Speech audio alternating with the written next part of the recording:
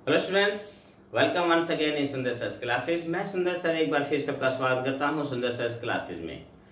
तो स्टूडेंट्स आज का हमारा विषय है, जो पर्टिकुलर इस वीडियो का, वो है हमारा डिस्ट्रीब्यूटिव प्रोनाउंस का। और वैसे तो हमने देखिए प्रोनाउंस की काफ़ी वीडियोस पहले भी मेरे चैनल पे हैं, हर प्रकार के। लेकिन आज की इस वीडियो में खास क्या है? आज की इस वीडियो में कुछ ऐसे इंपॉर्टेंट टिप्स मैंने जो है बताए हैं, कि जिनके बारे में अक्सर स्टूडेंट्स को कुछ डाउट्स होते हैं, उन डाउट्स को भी क्लियर किया है। और इसमें मैंने आपको बताया कि डिस्ट्रीब्यूटिव प्रोनाउंस जो होते हैं, उनके करेक्ट यूज़ क्या है? क्योंकि अक्सर जो वर्ड जो है मिलते जुलते थोड़े से होते हैं, लेकिन उनका जो यूज़ करते हैं तो यूज़ करते समय उसमें काफ़ी हद तक जो है हमारे एक जो डाउट्स हैं, वो रह जाते हैं और मिस्टेक्स होने की संभावना काफ़ी होती है। तो आज के इस लेसन में मैं आपको यही डाउट्स क्लियर कराऊँगा। मैं आपको बिल्कुल एक एक टॉपिक जो एक एक पॉइंट इसका बहुत ही अच्छी तरीके से क्लियर कराऊँगा मैं। तो चलिए स्टूडेंट शुरू करते हैं हमारा आज का ये लेसन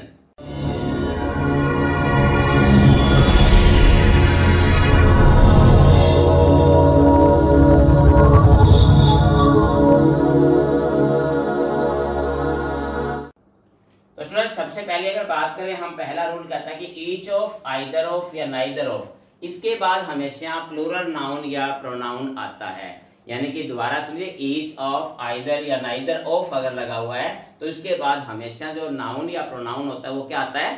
प्लूरल आता है। इस चीज़ का आपने ध्यान करना है। जैसे एग्ज़ाम्पल के तौर पे each of the boys has a pen अब देखिए ईच ऑफ़ यहाँ हमारे पास है ईच ऑफ़ और इसके साथ हमारे पास जो नाउन आया, हमारे पास बॉयज़ लेकिन इस इसमें थोड़ा सा एक ध्यान रखना आपने। अब ये कई बार देखिए, हमारे पास जो वर्ब है, यहाँ अक्सर स्टूडेंट गलती कर देते हैं। बॉयज़ को देख के आपने यहाँ पर हैव नहीं लगा देना है। इस चीज़ का आपने ध्यान में रखना है कि हमारे पास जो वर्ब लगेगी वो हमारे पास क्या है? ईच के अकॉर्डिंग तो यहाँ सिंगुलर वर्ब ही लगेगी। इस चीज़ का आपने ध्यान में रखना। ये जो है अक्सर कंफ्यूजन पैदा करता है। दूसरा रूल इसमें क्या कहता है? जैसे each of either of and either of के बाद जब भी नाउन या प्रोनाउन कोई भी जैसे लगता है तो उसके बाद हमेशा जो भी नाउन लगे, उसके बाद हमेशा, उससे पहले क्या आएगा? हमेशा दी का प्रयोग किया जाएगा, ये भी ध्यान रखना है। आप इसके अंदर भी जैसे देख सकते हो ईच ऑफ़ द स्टूडेंट्स देखिए रूल पहले ही है कि ईच ऑफ़ के बाद हमारे पास आ गया क्या? प्लूरल आ गया है नाउन लेकिन प्लूरल नाउन से पहले हमने क्या करना है?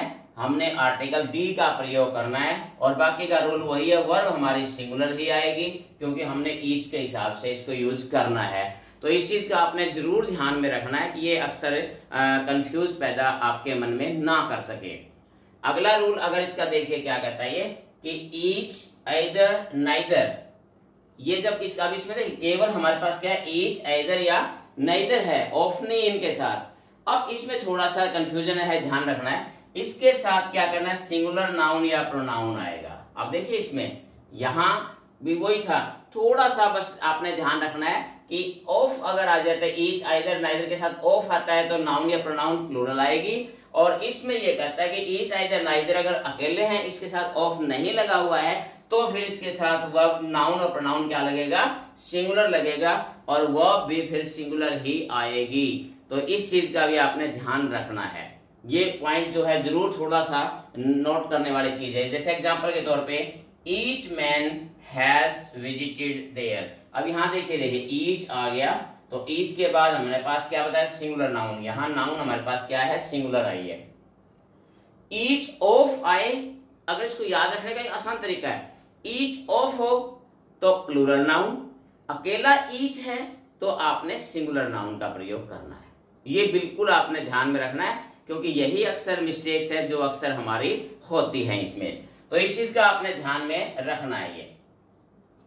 एक इसमें अगला जो पॉइंट है, उसको भी ध्यान करने वाली चीज़ है, वो क्या कहता है? यदि ईच का यूज़ सब्जेक्ट के लिए हो ईच एज ए सब्जेक्ट किसी सेंटेंस में ईच जो है एज ए सब्जेक्ट अगर यूज़ हो रहा है तो क्या करना होता है? तो ईच का यूज़ सब्जेक्ट के बाद तो ईच का प्रयोग आप ईच कहाँ लगाएँगे? सब्जेक्ट के बाद यूज़ करेंगे उसको।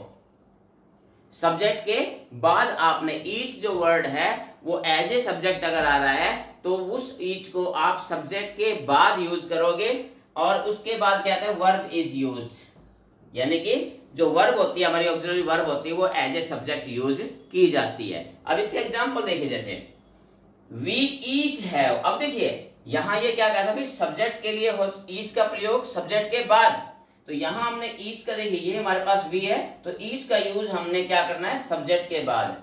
वी ईच दे ईच इस प्रकार से हमने तो यहाँ वी ईच हैव तो यह वर्ब हमारी क्या आ जाएगी फिर? क्योंकि वर्ब हमारी एज ए यहाँ वी के अकॉर्डिंग आ रही है तो we each have advise his him advise him to stop drinking तो इस प्रकार से थोड़ा सा इसको आपने ध्यान में रखना, इस बात को ज़रूर आपने, कि यहाँ पर जो है, हमने ऑक्सिलरी वर्ब जो होती है हमारी ऑक्सिलरी वर्ब है, उससे पहले और सब्जेक्ट के बाद में ईच का प्रयोग ऑक्सिलरी वर्ब और ऑक्सिलरी वर्ब और सब्जेक्ट के बीच में ईच का प्रयोग किया जाएगा।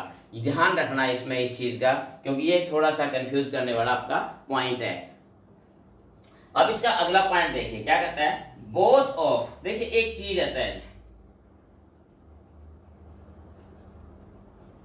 हाँ बोथ ऑफ़ तो कहते हैं ये both of use for two person both of जो है, हमेशा दो आदमी के लिए यूज़ किया जाता है, ये सबको पता है। Both of the boys both of the man both of the students both of the teachers तो बोथ हमेशा दो के लिए यूज़ किया जाता है। अब इसमें जो ध्यान देने वाली बात क्या है तो देखिए जैसे एग्ज़ाम्पल के both of the two students are guilty तो ये हमने लगा दिया बोथ ऑफ़ हमेशा किसके लिए, दो के लिए यूज़ कर दिया, ये चीज़ आ गई। इसमें चीज़ ध्यान देने वाली बात यह है कि देखिए बोथ हमेशा, कभी भी नेगेटिव सेंटेंस में यूज़ नहीं किया जाता।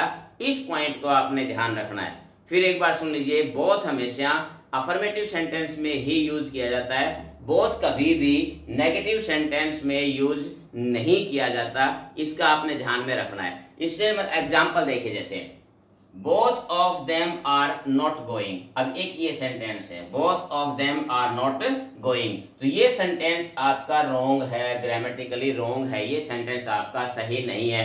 क्योंकि सेंटेंस नेगेटिव है तो नेगेटिव है तो आप बोथ ऑफ़ का यूज़ नहीं करेंगे। तो वहाँ आप इसको करेक्ट करना हो तो कैसे करेंगे तो आप लिखोगे neither neither of two is going neither of two is going तो आप यहाँ पर बोथ ऑफ़ की बजाय अगर सेंटेंस आपका नेगेटिव है तो आप नाइदर का यूज़ करेंगे। आप वहाँ पर बोथ ऑफ़ का यूज़ नहीं करेंगे। तो इस पॉइंट को आपने ध्यान में रखना कि बोथ ऑफ़ जो है वो दो पर्सन के लिए यूज़ किया जाता है, दो व्यक्तियों के लिए यूज़ किया जाता है, लेकिन केवल अफर्मेटिव सेंटेंस में नेगेटिव सेंटेंस में बोथ का प्रयोग नहीं किया जाता।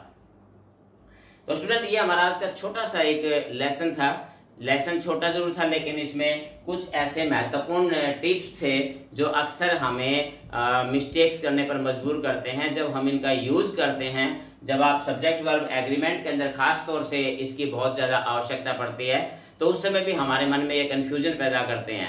तो उम्मीद करता हूँ कि इस लेसन के को देखने के बाद आपका जो कन्फ्यूज़न था डिस्ट्रीब्यूटिव प्रोनाउंस के यूजेस के बारे में तो वो कन्फ्यूज़न आपका दूर हुआ होगा।